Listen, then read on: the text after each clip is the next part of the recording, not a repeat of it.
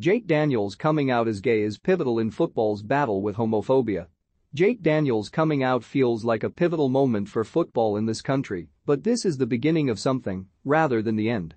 In the blink of an eye, the terrain seems to have shifted. Men's football's attitudes, and yes, it is men's football, Women's football has a large number of high-profile gay players and coaches towards homosexuality has for decades felt as though it was trapped in a cycle of fear and shame, embarrassed by its own regressiveness and its own failure to get to grips with a changing world.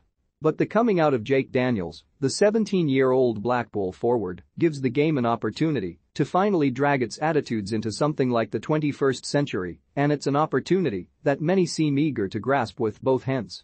There was a time when football's homophobia could reach levels that bordered on black comedy. When the highly accomplished England defender Graeme Saux was targeted for homophobic abuse during the 1990s, the reason was said to be that he collected antiques and read The Guardian. Saux was straight, he was and remains married to a woman with whom he has children, but the implication to anybody looking on from a distance was perfectly clear, you're not welcome here if you're different.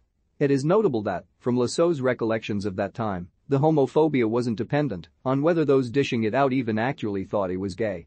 That was irrelevant. That time period was one when homophobia within the game remained rife. The treatment of Justin Fashanu by some in football, his own family, and the sections of the press was practically medieval. Fashanu came out in October 1990 under the duress of the Sun, who had informed him that they were going to out him if he didn't do it himself. He couldn't even rely on the support of his brother John Fashanu effectively disowned him and was reported to have paid him £75,000 to remain in the closet. Justin Fashanu later took his own life following allegations of sexual assault, which, for the record, were never proved nor disproved, in September 1998. The media reaction at the time was unhelpful. There was a predictable tabloid feeding frenzy which stretched beyond the usual suspects. Justin was even condemned in black newspaper The Voice as an affront to the black community, damaging, pathetic and unforgivable, while columnist Tony Sewell wrote that, we heteros are sick and tired of tortured queens playing hide and seek around their closets. Homosexuals are the greatest queer bashers around. No other group of people are so preoccupied with making their own sexuality look dirty. Sewell later became the chair of the government's Commission on Race and Ethnic Disparities, but didn't apologize for these comments until July 2020, almost 30 years after they were first written. John Fashanu later admitted that he regretted his behavior towards his brother as well, although it took him more than two decades to do so. A lot of people seem to take a lot of time to realize and acknowledge the full extent of their words and actions. Brian Clough's treatment of him, for example, remains a stain on his legacy. It should be a matter of astonishment and shame to understand that it has taken more than three decades for a second player to come out during their playing career in this country.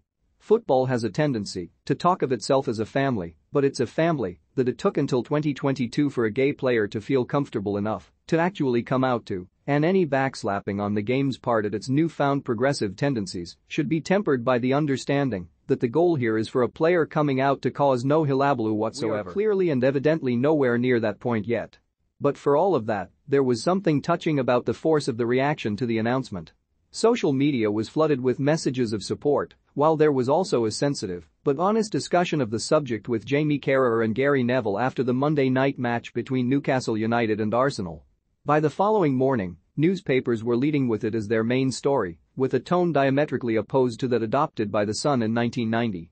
Supporters have a duty of care towards Jake. While his decision to come out is a big step forward for the mental maturity of the game in this country, it won't, and probably can't, eliminate homophobia within football alone.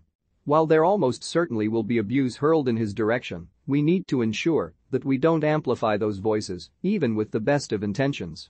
But there is also another strata of almost but not quite homophobia that should also be addressed. The who cares, guys. It is perfectly within anyone's rights to not care about an individual's sexual orientation. Many would suggest that this is an ideal that society should ultimately be working towards.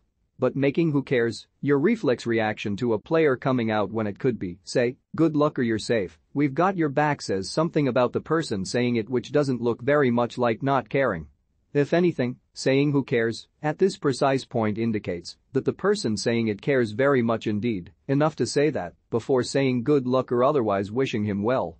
It may well be that those who make this their first comment on such a subject don't care, but this isn't how it's interpreted. Anybody who genuinely doesn't care, and there's a difference between being disinterested and uninterested in something, is welcome to remain silent on this subject. Even if we ascribe the best of faith to someone making a point of saying how much they don't care, they're not sending the message they may think they're sending. There has been some debate over whether it's appropriate to use the word brave when discussing this story, but while it might ordinarily be considered a little patronizing to do so, it's impossible to avoid the conclusion that brave is exactly what Jake Daniels has been. At 17 years old, he has put himself in the firing line of bigots in the hope that he can be an example to others. But then again, why wouldn't he have been?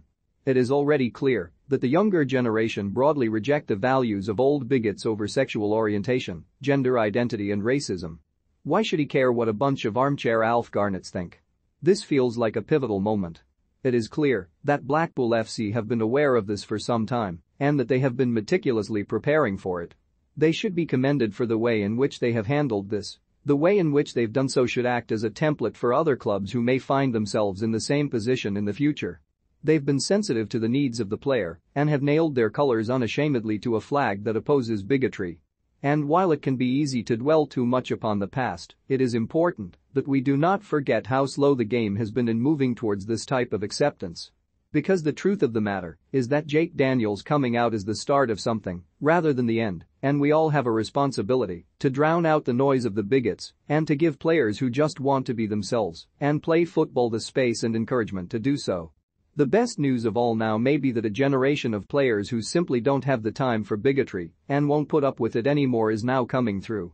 It should, at the very least, give those who did too little for too long pause for thought.